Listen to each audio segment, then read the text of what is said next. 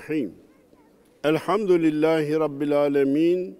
Ve salatu ve selamu ala Resulina Muhammedin ve ala alihi ve sahbihi ecma'in. Sevgili seyirciler, geçen hafta gelmeden Kurban Bayramı'ndan bahsetmiştik. Bu hafta Kurban Bayramı'nın son gününde beraberiz. Yine bayramımız devam ediyor. Bugün sona erecek. Allah sıhhat ve afiyetle daha nice kurban, Ramazan bayramlarına, oruçlara, teravihlere, bayramlara ulaşmamızı nasibi müyesser eylesin. Kurban konusunda geçen hafta bazı bölümleri arz etmiştim ama bazı bölümler yetişmemişti. Kurban olamayacak hayvanlar var. Gözü kör, kulağı kesik, kuyruğu kesik, memeleri kesik olan hayvanlar kurban olamazlar. Bunu herhangi bir fıkıh kitabını bir ilmihale açarak da öğrenebilirsiniz. Günümüzde en dikkat edilmesi gereken konu büyükbaş hayvanların en az iki yaşını bitirmiş olmaları kaydı var. Küçükbaş hayvanlar da bir yılını bitirmiş, bir yaşında olma şartı var ancak beraberinde bir de not var. 6 ay olduğu halde, 6 aylık olduğu halde bir yaşındaki gibi bir görünüm veriyorsa küçükbaş hayvanlar da kurban edilebilir. Ama büyükbaş hayvanlar iki yaşında olmadığı halde iki yaşında gibi görünüm verse bile yaşı doldurmadan kurban edilmesi doğru değildir. Bu da kameri yıla göre olduğu için güneş takviminden daha erken iki yılını da tamamlamış olabilir. Onu da kayıtlara aldıktan sonra. Kurban olmayacak hayvanlar var da kul olmayacak insanları ne yapacağız? Yani biz bazı hayvanlara diyoruz ki senin gözün kör sen kurban olamazsın. Senin kulağın kesilmiş sen kurban olamazsın. Senin ayağın yok sen kurban olamazsın. O hayvan dile gelip de bize dese ki peki sen gözlerini haramlarla kör etmedin mi? Kulaklarını haram dinleyerek sağır etmedin mi? Ayağını haramlara giderek, başka sokaklarda dolaşarak perişan etmedin mi? Günahlara sokmadın mı? Sen bana bazı eksiklerimden dolayı kurban olamazsın diyorsun. Peki ben de sana desem ki bu kadar günah ve haramla sen kul olamazsın dersem ne diyeceksin dese bir hayvan dile gelip de bizim cevabımız ne olur sevgili seyirciler? Onun için hayvanların kusurunu ön plana çıkarıp da kendi kusurumuzu görmemek gibi bir yanlışa düşmeyelim. Gözlerimizi zahiren tıbbi açıdan göz doktoruna götürdüğümüz gibi, kulağımızı kulak burun boğaz uzmanına götürdüğümüz gibi, elimizde ayağımızda bir aksama olsa ilgili doktora götürdüğümüz gibi, davranışlarımızı da bilir kişiye götürecek. Hocam ben şunları şöyle şöyle yapıyorum. Günah mı değil mi?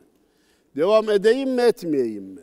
Bunlar beni Allah katında sorumluluğa sokar mı sokmaz mı diye organlarımızı, vücudumuzu, aklımızı, paramızı nasıl kullandığımızı da dini açıdan uzman olan kişilere danışmalıyız.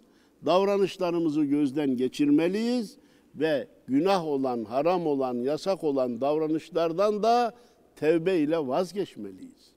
Kurban sadece bir hayvanın boğazlanması değil, günaha alışan nefsin boğazlanmasıdır hırsın boğazlanmasıdır. Kinin, nefretin boğazlanmasıdır. Kıskançlığın boğazlanmasıdır. Komşu hakkına tecavüze son verme işidir kurban. Kurban kötülükleri yok etme, iyiliklere başlama davranışının adıdır bir anlamda. Bir de hani kur, insan kurbanları kesmeye kıyamayan kişilerin olduğunu söylemiştim geçen hafta. Günümüz insanı bırak hayvana kıymayı binlerce insanın ölümüne, milyonlarca insanın ölümüne sebep olacak silahları üretiyor. Hem de demokrasi getirme bahanesiyle yüz binlerce insanın ölümüne sebep oluyor. Kendi öz vatandaşına bomba atan insanlar var mı yok mu? Irak'a demokrasi getireceğiz diye milyondan fazla insanın ölümüne sebep oldu mu olmadı mı dünyanın süper gücü? Yani bir tarafta hayvana kıyamama gibi bir nezaket, titizlik, incelik, öbür tarafta petrol için binlerce insanın canına kıyabilmek. Bu kurban ibadetini anlamamanın işaretidir. Bizim sloganımız şu kadar basit. Kurban kanı aksın, insan kanı dursun. Kurban kanı aksın, fakirin, fukaranın ona ihtiyacı var. İnsan kanını durduralım. Asıl problemimiz insan kanının akmasıdır. Durdurmak istiyorsak onu durduralım diyorum. Efendim, Cenab-ı Allah o günleri de inşallah bize gösterir. Kestiğimiz kurbanın etini ne yapalım sorusu hep bize gelir.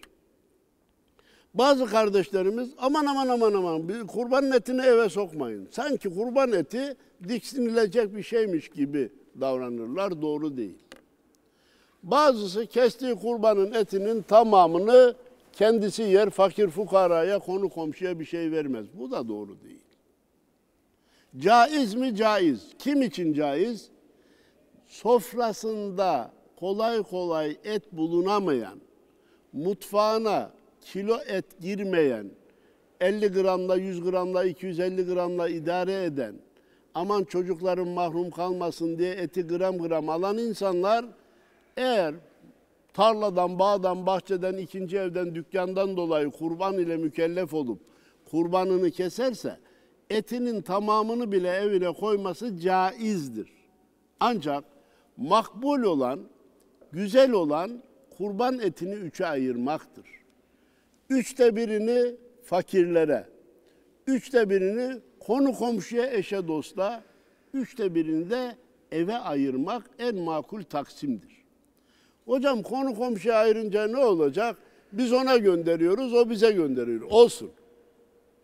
Efendimiz Peygamberimiz Aleyhisselatü Vesselam buyurdu ki, hediyeleşiniz, Allah hediyeleşen insanların kalplerini yaklaştırır. Sevgilerini, muhabbetlerini artırır. Siz ona gönderirsiniz, o size gönderir. İkiniz de birbirinizin gönlünü almış olursunuz. Bayram ziyaretleri diye bir maddemiz var. Evet bugün bayramın dördüncü günündeyiz. Ama bayram ziyaretleri son zamanlarda ihmal edilir oldu. Peki bu virüsten dolayı da mesafeyi muhafaza etmek lazım. Çok kalabalık insanların bir araya gelmemesi lazım. Doğru. Bunlara riayete devam edelim. Tehlike geçti zannetmeyelim. Ama hani geçmiş senelerden görüyoruz ki bazı kardeşlerimiz bayram tatilini akrabalardan kaçma, uzaklaşma vesilesi olarak değerlendiriyorlar. Bu doğru değil. Yakın akrabaların birbirlerini bu salgın kurallarına riayet etmek şartıyla ziyaret etmeleri daha eftaldir. Uzak kişiler, tanıdıklar, eş dost telefonla tebrikleşme daha makuldür bilhassa bu senelerde. Ama şunu arz etmek istiyorum ki bayram barışma günüdür. Kırgınlıkların sona erdirilme günüdür. E birbirimizden kaçarsa kırgınlık nasıl sona erecek? Birbirimizden uzaklaşırsak birbirimize hakkımızı nasıl helalleşeceğiz? Bu bayramları bir vesile, küskünlükleri sona erdirme vesilesi, helalleşme vesilesi olarak kullanalım diye arz ediyorum. Bayram ne zaman bayram olur? Efendim işte Kurban Bayramı takvimde yazıyor ya ne zaman başlarsa o zaman olur. Ramazan Bayramı takvimde ne zaman yazıyorsa o zaman olur. Acaba sadece bayram takvimle başlayıp takvimle biten bir nesne midir? Hayır. Al varlı Efe bayramın nasıl olmasını bize tarif ediyor ki çoğunuz onu musiki ilahi olarak da dinlemiştir. Şiir olarak da okumuştur. Bendeniz önemine inanmamdan dolayı programımızın bundan sonraki bölümünü bayram hakkında yazılan şiirler ve o şiirlerin izahı şeklinde tamamlamak istiyorum. Alvarlı Efe diyor ki, Can bula cananını bayram o bayram ola. Kul bula sultanını bayram o bayram ola. Bayram öyle sadece güzel elbiseler giymek, cici elbiseler giyme işi değil. Evin düzenini yapıp güzel şeylerle evi sermek, eşyaları düzenleme işi değil. Bayram lüks arabalara binme işi değil. Ya kul sultanını bulursa o zaman bayram olur. Sultan kimdir? Sultan Allah. Kul Rabbini bilir, arar, bulur ve ona kul olursa işte bayramı o hak eder diyor. Alvarlı Efe hüznü keder def ola. Dilde hicap ref ola. Cümle günah affola. Bayram o bayram ola. İnsanların gönüllerinde bir perde var.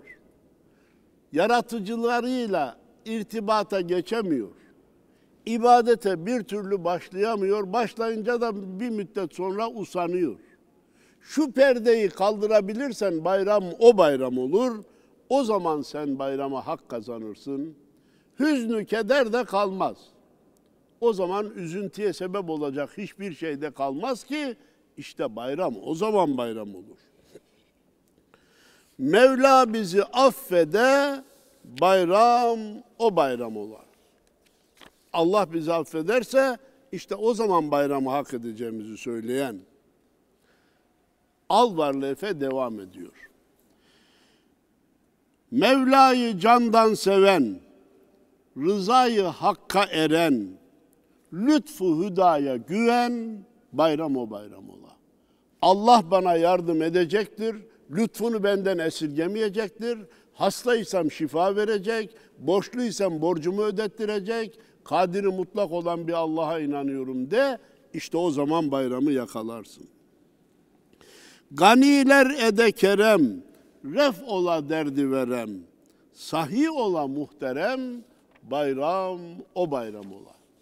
Diyor ki, ganiler kerem etsin, zenginler fakirlerin imdadına koşsun. Bakın bu salgında nice rızık kapıları kapandı, nice rızık kapıları daraldı, nice insanlar işinden oldu. Ey zenginler!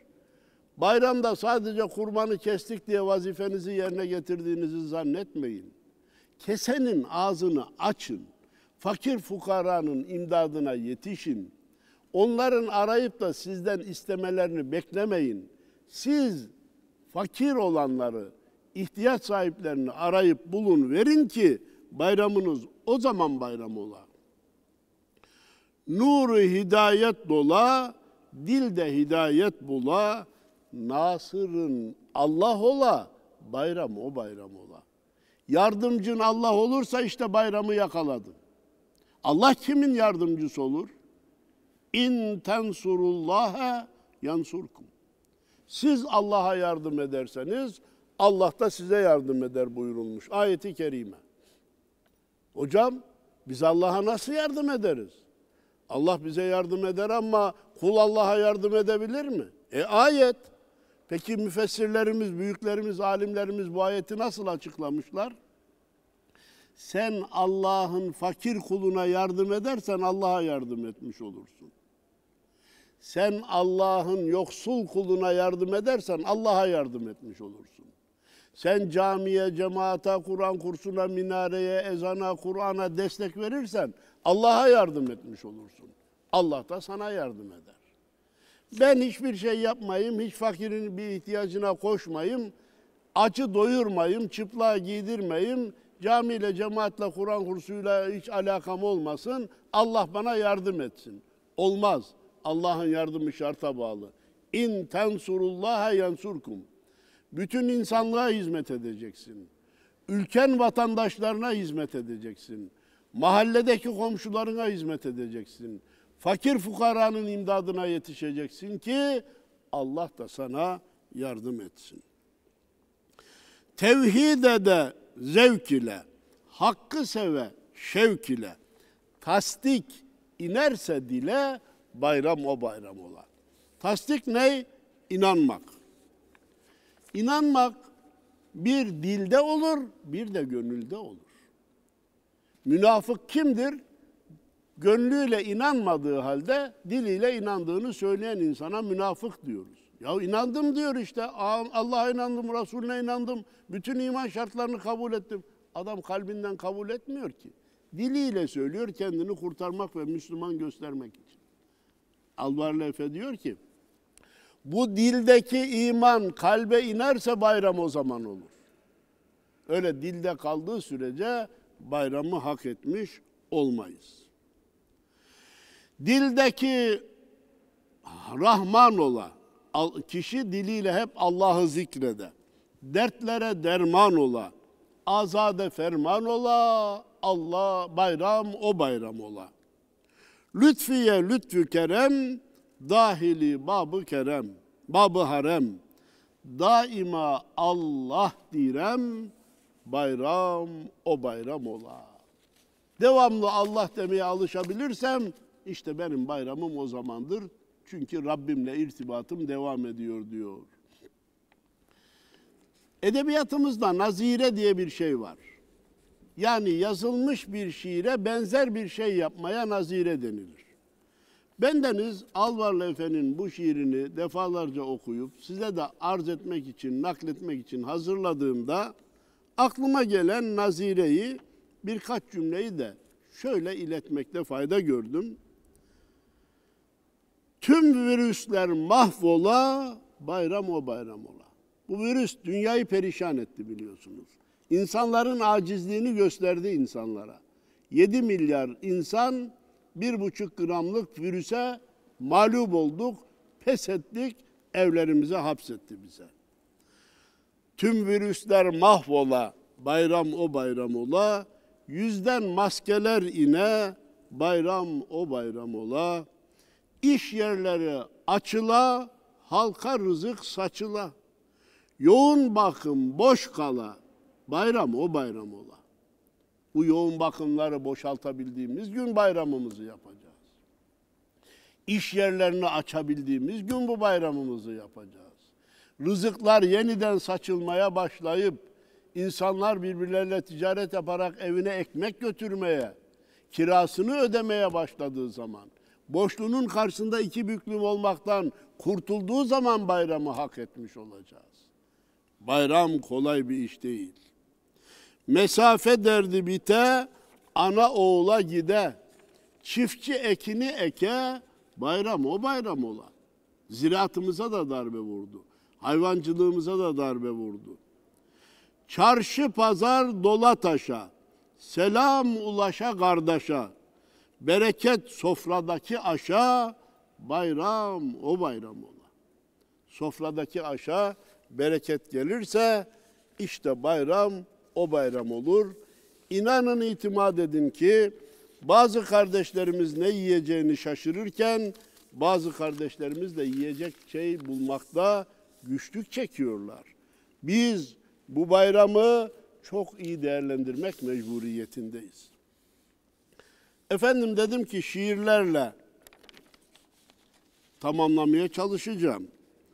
Abdullah Gül Cemal Ispartalı kardeşim çok şahane güzel şiirler yazmayı başarıyor. Ben de onu zamanımızın Abdurrahim Karakoçu olarak görüyorum. O bir şiirinde dedi ki bayramla ilgili Kardeş bayramların bayram olduğu bir bayram gelirse beni de çağır. Bayram edenlerin huzur bulduğu bir bayram gelirse beni de çağır. Diyor ki bayram yapanların huzur bulduğu bir bayram gelirse beni çağır.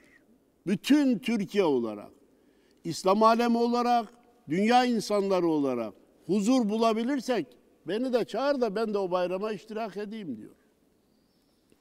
Çizilen hudutlar dar gelir bana. Kula kulluk etmek ar gelir bana. Bayramsız yaşamak zor gelir bana. Bir bayram gelirse beni de çağır. Sevinmeyi hak edeceğimiz bir bayram gelirse beni de çağır. Hicran oku yüreğimde sokulu. Aşk gelince azat ettim akıllı. Muhacir sevdalı, ensar kokulu. Bir bayram gelirse beni de çağır. Muhacir sevdalı, ensar kokulu. Bir bayram gelirse beni de çağır. Kimdi muhacir? Mekke'deki bütün varlığını bırakıp Allah'ın dinine hizmet etmek için Medine'ye göçen insanlara muhacir diyorduk. Medine'de Mekke'den gelen muhacirlere evinin yarısını bölerek veren, bahçesinin yarısını bölerek veren insanlara da ensar diyorduk. Yardımcı demek manasında. Biz bugün Cenab-ı Allah hamdü senalar olsun ki Suriye'den veya etraftan gelen nice insanlara ensarlık yapıyoruz. Maddi durumumuz zor. Bize yeni masraf açıyor. Biz bunları istemiyoruz diye geriye itmiyoruz. Batılı çok rahatlıkla onları geriye itebiliyor. Sadece geriye itmekle kalmıyor. Denizde boğulmalarına bile seyrediyor ya da göz yumuyor. Bizim vicdanımız buna el vermez. Hem bayram yapacağız hem de evlerinden barklarından kovulmuş insanları kabul etmeyecek geri çevireceğiz. Ölüme veya zalimin kucağına iteceğiz. Bu Müslümanlığa yakışmaz. Hatırlarsanız bir sohbetimizde Efendimiz Peygamberimiz Aleyhisselatü Vesselam Müslüman Müslüman kardeşine yardım eder. Zalime de yardım edin, mazluma da yardım edin. Bir de kardeşinizi zalime teslim etmeyin buyuruyor. Müslüman kardeşini zalime teslim etmez. Git de öldürürse öldürsünler diyemez demez. Ne demişti Abdullah Gül Cemal? Muhacir sevdalı, ensar kokulu. Bir bayram gelirse beni de çağır. İnşallah bayramlarımız ensar kokulu, muhacir sevdalı olacaktır. Fakrimi anladım varın içinde. İbrahim gül toplar narın içinde. Yarın Muhammedi nurun içinde bir bayram gelirse beni de çağır. Hazreti İbrahim ateşin içinde gül topladı. Ben de Rabbime teslim oldum. Zor şartlarda bizi de kurtaracak inşallah. Amenna ve saddakna. Anladım da Muhammedi nurun içinde bir bayram gelirse beni de çağır. Günahlar içinde değil, hatalar içinde değil. Muhammedi nurun içinde bir bayram gelirse beni de çağır. Takvimlerde bayram diyen yazı ne? Bayram ise gönlümdeki sızı ne? Giden bayramların düşüp izine bir bayram gelirse beni de çağır. Takvimde bayram yazıyor. Tamam da gerçekten bayram yapabiliyor muyuz? Herkes istediği gibi rahatlıkla bayrama kavuşabildi mi? Bunları düşünmek mecburiyetindeyiz. Eski bayramların düşüp düşüp izine bir bayram gelirse beni de çağır. Ben de çok istiyorum ama maalesef bayramlar kederli geliyor diyor. Musa Eroğlu dostu dinleyenleriniz çoktur. Türküyü güzel söyler. Bazı türküler de vaaz nasihat gibidir.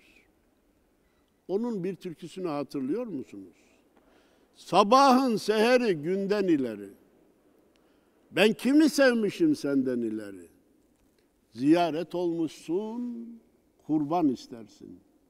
Kurban bulamadım, candan ileri diyor. Ne müthiş söz. Sabahın seheri günden ileri, ben kimi sevmişim senden ileri. Ziyaret olmuşsun, kurban istersin. Kurban bulamadım candan içeri. Bunu Resulullah'a hitaben söylediğinizi düşünün. Efendimiz'e hitaben söylediğinizi düşünün. Manevi değerlere hitaben söylediğimizi düşünün. Yani Müslüman gün gelirse canını bile kurban edecektir diye bu kurban bayramının fedakarlık bayramı olduğunu unutmayalım diyorum. İnşallah Abdurrahim Karakoç'un bir şiiriyle de sohbetimizi tamamlamaya çalışacağız. İşte Abdurrahim Karakoç Üstad'ın bayram şiiri ya da bayram şiirlerinden birisi diyelim. İnternete girerseniz onun bayramla ilgili çok şiirlerinin olduğunu görürsünüz. Güneş yükselmeden kuşluk yerine bir adam camiden döndü evine. Oturdu sessizce yer minderine. Kızı bayram dedi yalın ayaklı. Adam bayram dedi tam ağlamaklı. Dedik ya fakirin fukaranın imdadına koşmak lazım bayramda. Ayağı yalın ayak olanlar var. Nasıl bayram yapıyorlar düşünmemiz gerekmez mi? Eli öpüldükçe içi burkuldu.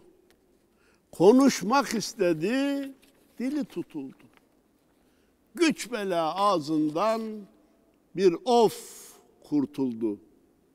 Oğlu bayram dedi, sırtı yamalı. Adam he ya dedi, gözü kapalı. Çocukları elini öpüyor. Baba bayramın mübarek olsun. Ama baba çocukların ihtiyacını giderememiş ki. Ayağına ayakkabı alamamış. Sırtına bir bayramlık alamamış. Konuşmak istedi dili tutuldu. Ağzından sadece bir of kurtuldu. Adam öyle dedi, gözü kapalı. Düşündü kış yakın, evde odun yok.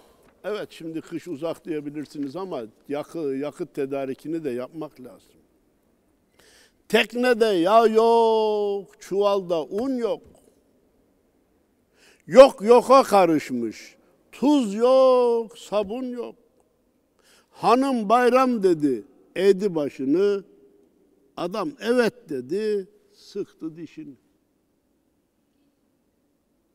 Böyle insanlar var mı diye düşünen e, seyircilerimizin olduğunu tahmin ediyorum. Yani ülkemizde hakikaten evinde un olmayan var mı? Evinde yağ olmayan var mı diye düşünenlerin olduğunu tahmin ediyorum. Takriben bir ay kadar evvel memleketim olan Kayseri'ye gitmiştim. Burada sırf fakir fukaranın ihtiyacını gidermek üzere açılmış bir marketin olduğunu gördüm, sevindim. Bu işi yapanları da tebrik ediyorum. Sadece Kayseri'de değil, belki Türkiye'nin birçok yerlerinde var. A'dan Z'ye, tuzundan, yağından, pirincinden, nohutundan, fasulyesine, etinden, sucuğuna, pastırmasına kadar. Bütün ihtiyaçlar oraya konmuş. Aileler gitmiş tetkik edilmiş, yerlerinde, evlerinde tetkik edilmiş. Gerçekten fakir mi değil mi bize müracaat etmiş ama fakir olduğu tespit edilmiş. Buna ayda ne kadar yardım yapmak yeterli? Bin liralık. Ona denilmiş ki senin kontenjanın bin lira. Öbürü 500, senin kontenjanın 500 lira, öbürü 800, senin kontenjanın 800. Ne yapacaksınız? Ayda bir geleceksiniz evinizin ihtiyacını bu marketten göreceksiniz. Para vermek yok. Fazla alınca para üstü almak, fazla alınca para üstüne para vermek yok. Bu markete para girmeyecek. Fazla almışsanız eşyayı toplarken ihtiyacınızdan, kontenjanınızdan fazla almışsanız onu geri bırakacaksınız. Öbür fakir alacak diye. Müthiş bir düzen kurulmuş. Bu bayramları o marketleri çoğaltarak yapmamız lazım. Çalış, çalışsa ne işi var ne cepte para. Dağ oldu içinde büyüyen yara. Dikti gözlerini karşı duvara, takvim bayram dedi, silindi yazı, adam öyleydi dedi, bağrında sızı. Döndürse yönünü herhangi dosta, yaralı gariban, dül, yet, dul, yetim hasta, Yıllar, aylar, günler erirken yasla, yer gök bayram dedi, ağzını açtı, adam bayram dedi, evinden kaçtı. Evinde duramadı, evin içinde bayramın havası yok. Değerli izleyenlerimiz tekrar bayramınızı tebrik ediyorum. Sıhhat, afiyetle Cenab-ı Allah hakiki bayramlara, sevinç dolu bayramlara ulaştırsın diye dua ediyor. Hepinize saygılar sunuyorum. Allah'a emanet olun.